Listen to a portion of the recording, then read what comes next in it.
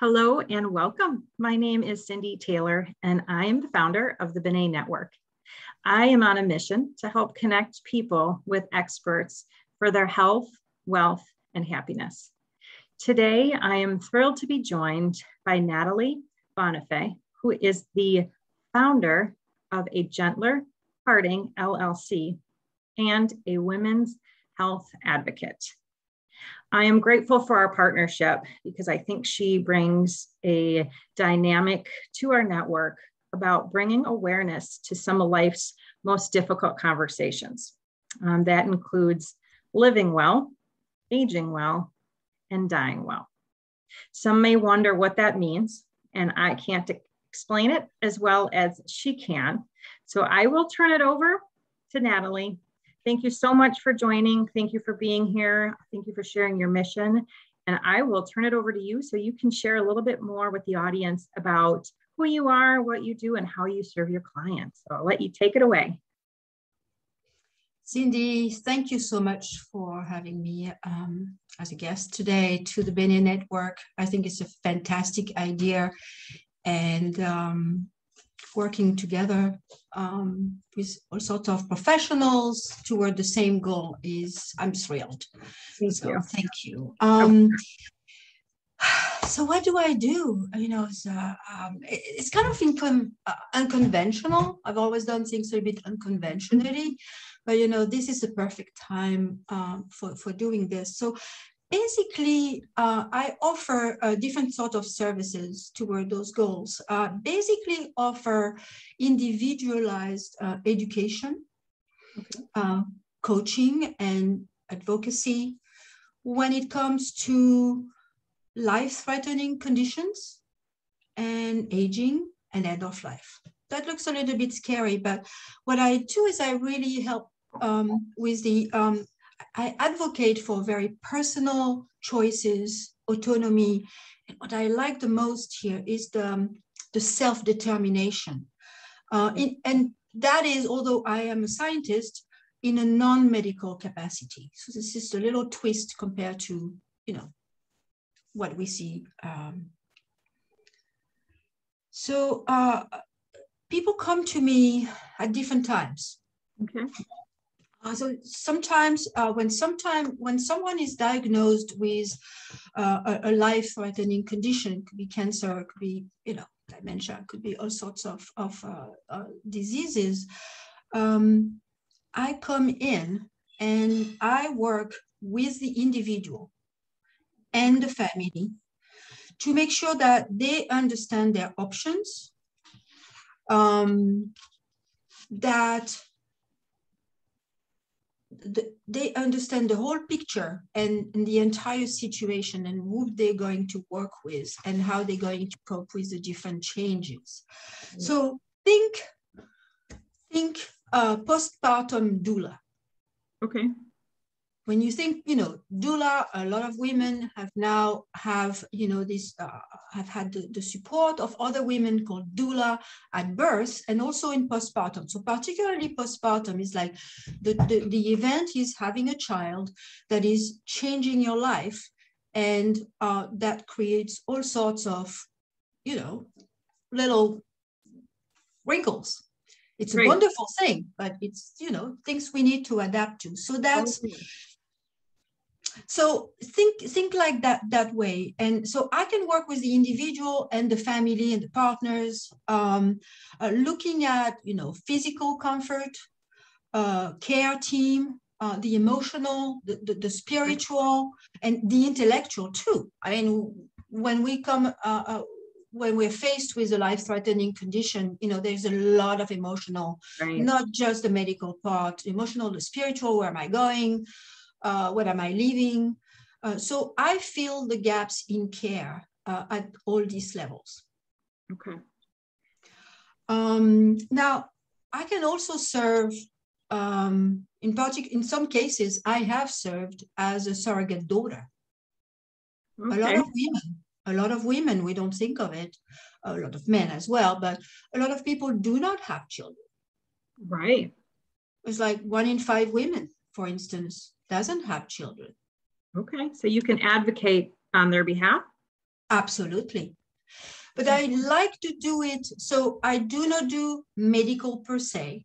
Mm-hmm. I can serve as a healthcare representative in such cases, which I've done.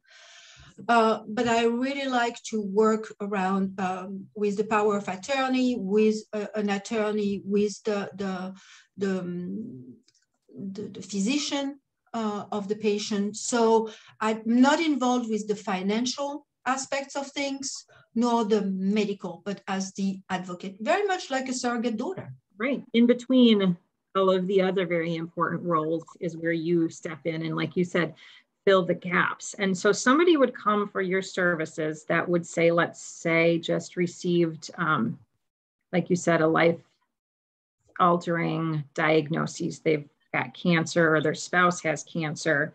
Then you would step in and kind of guide them with resources um, from that point. And then really the areas we don't like to focus on are are being with them through the end. Can you share with us just a little bit more? Because I know in my experience that the conversation around death is not one that is had often and it is your mission to help bring awareness to this conversation so that people can plan in advance. Would you speak to that? Absolutely. So you know everyone is every situation everyone is different. So every situation is going to be different. So when i start working with somebody you know at the time of diagnosis think you know like the the, the postpartum doula um, or somebody who's going to work um, very early on through the entire pro- process um, i get to guide from the very beginning so people can call me at the very end. Okay. Uh, it's generally more productive to work from you know for a long period of time so we get to know each other to understand and i can i can help the people for instance do finalize their uh, healthcare uh, direct direct um, uh, advanced directives so this is what i call um, advanced care planning, which I also do separately. People don't have to be sick for that.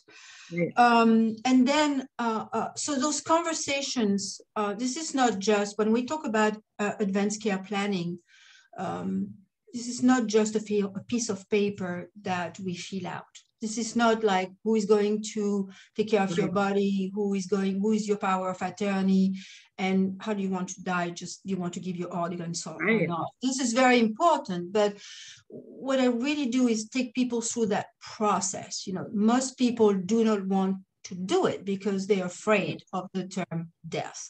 So this i take them through through the process of you know planning and and projecting themselves as what they've done in their life, what they'd like to, you know, finish. And and sometimes, you know, people get better and right. they get longer to live. And, and and that's the beauty of that. That's why I like to meet people at the very beginning because I can right. help them live better. Yeah. Um, yeah. So the, the advanced care planning is, is really making decisions uh, about the healthcare and everything else that comes with it um, if um, you would uh, and what you would want to do if you are facing a medical uh, crisis. And this is the first step of finding clarities that's why I, I, I offer this also separately to anyone who wants to start the process. And some of my clients are very young and not sick. So right. i start getting people now in their 40s Right. Um, uh, so you have the millennials who are like, uh, I'd like to be able to do that because, you know, I just lost my mom. Right. And uh, there are things that I would like to do differently for my children, mm-hmm. for the next generations to avoid uh, or to kind of minimize and engage more. And, and that is new that. I was going to say that's probably the objective in your role is to catch as many people on the front end planning. And I think why the work that you're doing speaks and resonates so well um, with me is that when I was in the advising role, I think it was one out of 10 people actually had their wills and estate plan done and done correctly. Um, and like you said, it's the most times people don't take action, it's because it's the fear and they don't know how to how to do it or where to turn to, who to trust. And so for me, when you're explaining your services, it almost seems like you are the person and the guide um, helping through that piece of paper being that emotional support and guide through that way so it's just a piece of paper really but the the questions asked and the process of it is extremely emotional and i think that if more people had a guide to walk them through it and knew about your services i think more people would like you said the millennials say it's nothing that we need to be nervous of i, I think i was in my 30s when I first had my estate plan. My husband thought I was crazy. Um, but I thought, same here. Why, yeah. why not? Because then at least I don't have to worry when I go to bed at night. Everything is taken, God forbid, right? Uh, but at least everything I know I can have peace at night when I lie my head down. And so, thank you for for bringing that important conversation up. If I may add, uh, you know, the when when we talk about advanced care planning, uh, you know, there are hospitals who can do that. You know, go we go into surgery, the hospital asks you, you know, who is the person who is going to talk uh, for you uh, on your behalf in case you can't talk for yourself. And uh, so, you know, simple surgery, you're going to be asked, that's a piece of paper you sign, etc. So, and also when people do their estate planning, which you know, fair amount of people do that. You know, right. their, their their power of attorneys, their their wills. Now, their attorneys make them also plan for their healthcare directives, and this is um, a little bit more. So I spend more time talking about having those conversations. Right. So it's very complementary. It's good to have done that with the attorneys. There's no competition there. I don't think you know their job or anything yeah. but i really dive into like who is going to take those decisions right how do you want to be treated what is, what are the different scenarios what if you know you have dementia right. what if you know you get you know i motorcycles so that's typical examples like I'm 54, I get into my motorcycle, I can get into an accident. Do I want to be resuscitated? But is it, it depends. I want somebody who's going to understand. You know, obviously, I'd like to live, right? Right. What would be the conditions? I would not want to be on, on, on a right. respirator. I would like to, to stay longer. Right. So that is that. But it's also, let's say, you know, we're really toward the end and how do we want to be treated? Some people like to be touched. Some people like to be left alone.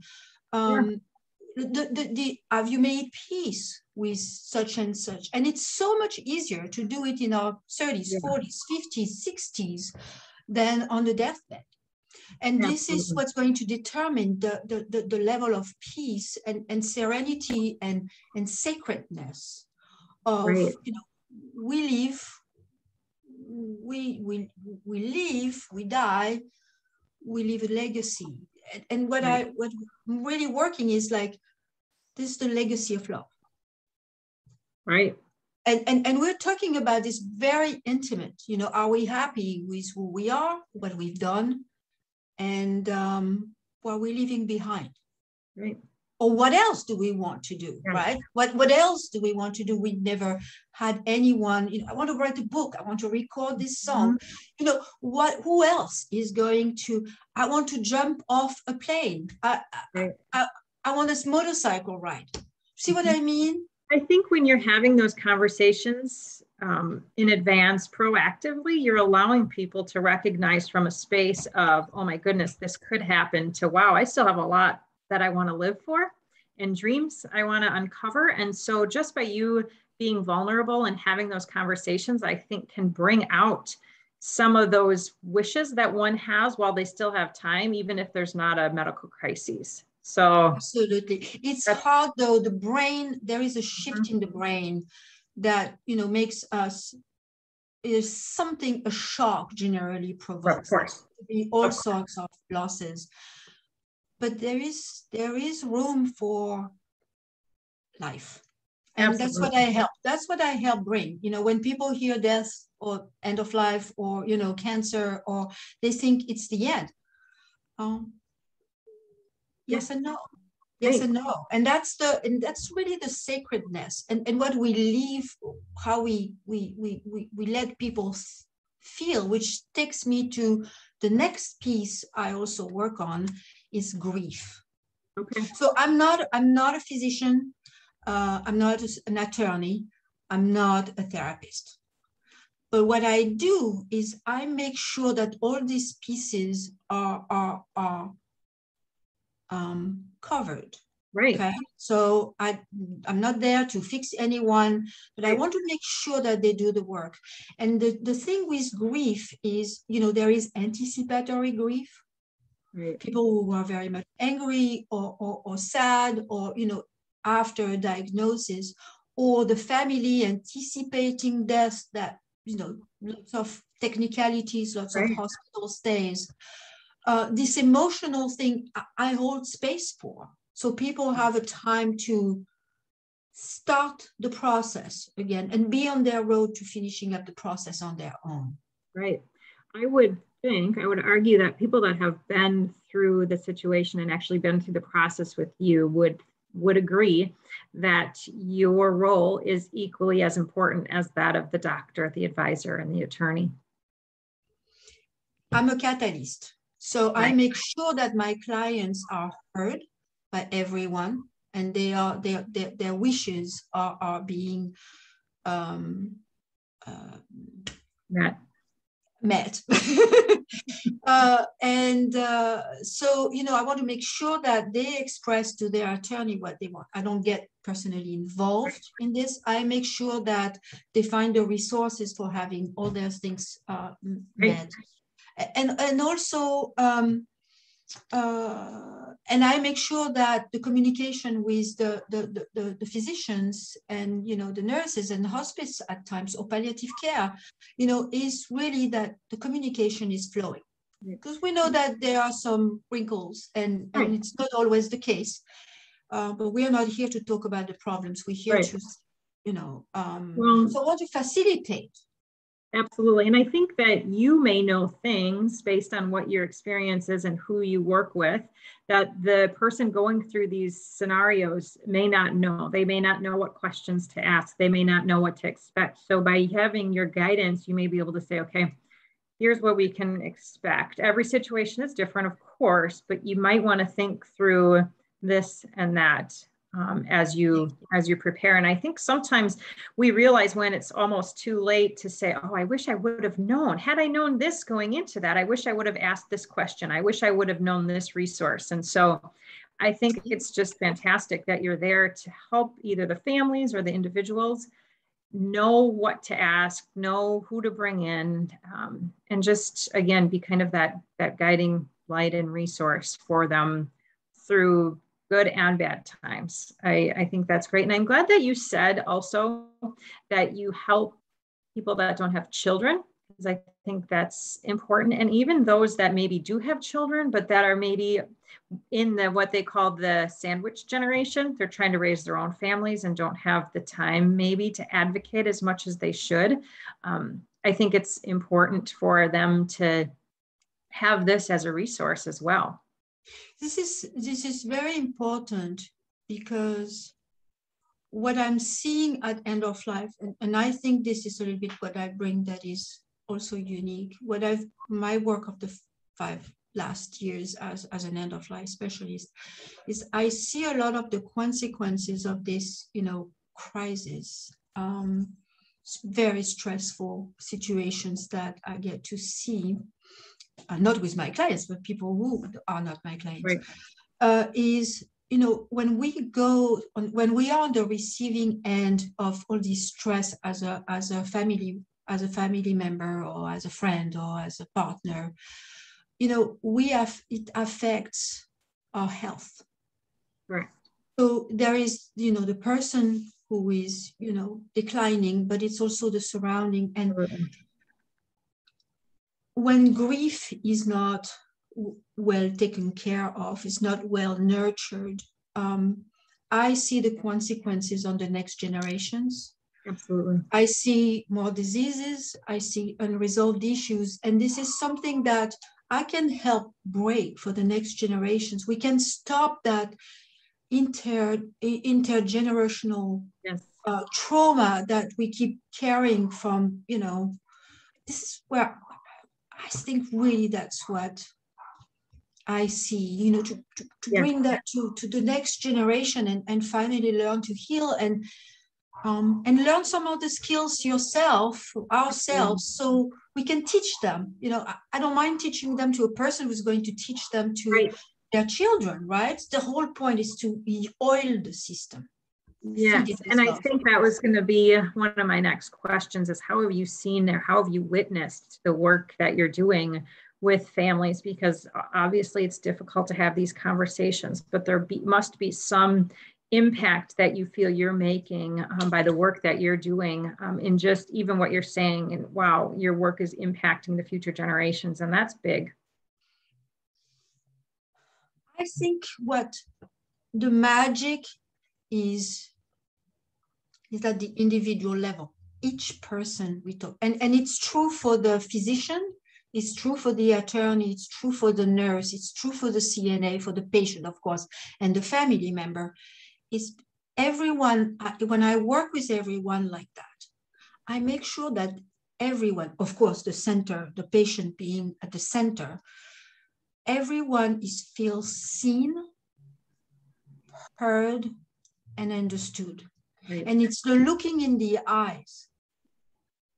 That's when when somebody, when I look at somebody's eyes and this person looks back at me and feels the that I see this person as a whole person, as a spiritual, you know, as a spirit, as a, as a body, but as a as a soul, really. They feel alive. They feel the love. They they. This is what people want. Right. Yeah. I can do it and I do it, you know, especially through grief and, and working, you know, with coaching. I managed to do it through Zoom, believe it or right. not. But it's because I have done it in person right. and I do it in person too. And feeling heard, seen changes a person. It, it's just that. Absolutely. Well, when they're at that state in their life, that it's just the dignity that they're looking for at the end of at the end of the day, at the end of life. I think to know that somebody is there listening, hearing, and seeing what matters most. There's nothing greater in, in, in my opinion. With with that, and it's in that regard, it's different from therapy. Sure. Because I don't I don't try to fix anyone. I mean, therapy is, is very important. You know, this is not the problem. It's like they want to feel human. They want to feel the warmth in whatever is left of their body. They want to feel like it's okay to cry. Right. They want to be witnessed. Right. And that's what has been missing because everybody is so busy. Yes. even the physicians and the lawyers, you know, can benefit from having me around. Yes. I would I mean, I would, they get their job so much easier. Yeah, they've got they've got a voice speaking for them when they don't because they don't have the time, right? Like you said, everyone has their role, and their role is not to be the compassionate, emotional, listening ear. Unfortunately, that's not, they've got to go. They've got to kind of probably get in and out of patients and you mentioned being able to connect with people on Zoom, and that's the beauty of the technical world that we're living in. And so I know you're located um, on the East Coast, but because of the opportunity that we have with the internet and, and the ability to have the advances we do, you're able to offer almost all of your services virtually. Is that correct? Absolutely. Absolutely. I was in France recently, you know, to visit my family, and I was working with a client, you know, on the phone. Right. You know, she would be able to call me and I would pick up the phone and we would be able to do some affirmations together, you know, to breathing exercises. And she could really she could really feel me. But we had met, you know, on Zoom where we knew how we looked like right. and the trust had been built. Of course. And this is that I think this is part of the special. Uh, Absolutely. Being able to do that virtually on the phone, I mean, it's just amazing what we can do now. And sometimes, like you said, people just need an ear to listen during those moments when they have nobody else to turn to. And so I think that's it's beautiful that you're able to offer those services not only in what could have been just your office surrounding area, but now throughout the globe. It's very powerful. And if I read correctly, you are the only one in the entire country, world that's offering the service. Is that correct? Is that your specific niche? Uh, I, think there are a lot of people who are being trained as end of life doulas. So this okay. is the path that I've taken. There is only one of me in the sense that, you know, I come with 25 years of, of, of very rational biomedical uh, research experience. So working with um, teams of, you know, multidisciplinary teams. So in that regard, so I can pretty much talk to people from any culture, any right. uh, uh, any any any um, religious beliefs, um, uh, any um, gender boundaries. I have worked. I I have worked with so many people that has really uh, exposed me to so and the rational aspect of things so being able to identify what goes on in different aspects of mm-hmm. you know the spectrum of the situation and the, the, the empathetic so I cannot say that I'm the only one. I'm sure there are many more. Right. But uh, I am the only one in um, doing it the way I want. I, I, I do, you know, um, right now. Um, and, and, and it's not about the type of training. It's about a, the, the training, the experience, the, the, the, the, the charisma, the, the, really? The, the personality. I, I'm not going to be you know, necessarily a cup of tea to anyone. But I'm there.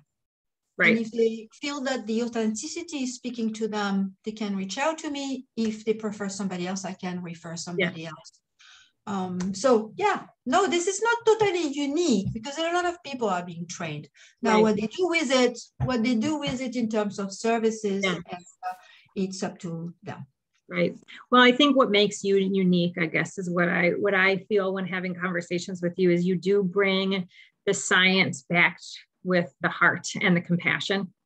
And i think that makes all the difference because you can speak to somebody about all of the medical and scientific uh, research scientific research behind end of life, but it's really the compassion and the heart that one can bring uh, into, first of all, these vulnerable conversations, and then secondly, these very difficult times that somebody goes through. So I just I commend you for doing what you do. It can't be easy when you have to continually talk about this, but I imagine it's very rewarding to be able to make an impact in the lives of your clients.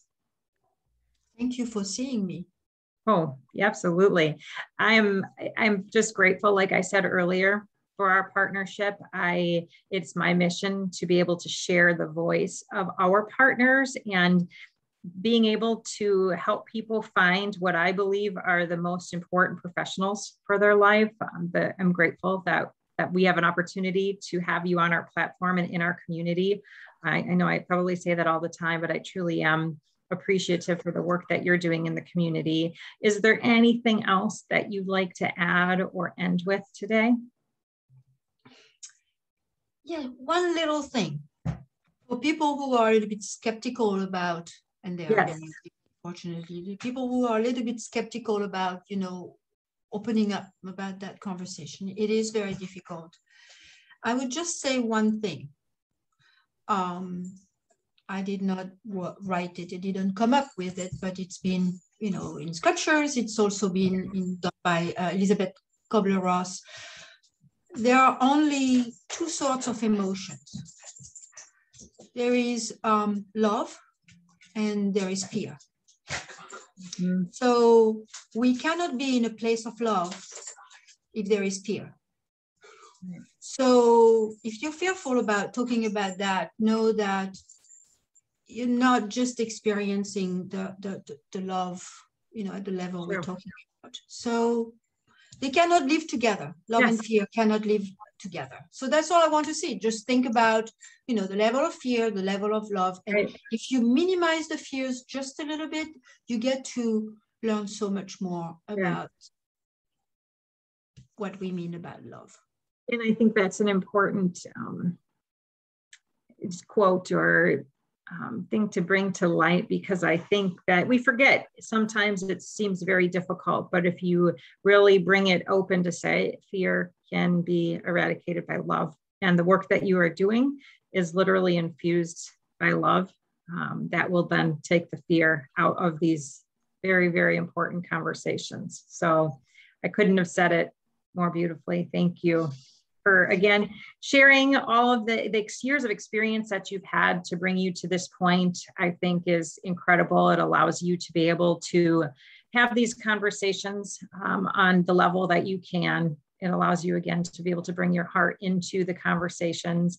Um, i am very thrilled again to be able to share the work that you're doing in the community because i just i know firsthand in experiencing some things that i've gone through. It's truly those conversations that we have with professionals and other advocates that can help ease the pain and the burden of what we go through in life. And so, thank you again for living out your mission. Um, by you doing what you're doing allows me to live my mission and connecting people like yourself to other people who are, I feel, in need of your services. So I will include all of your contact information um, on the bottom of this video. I will share it.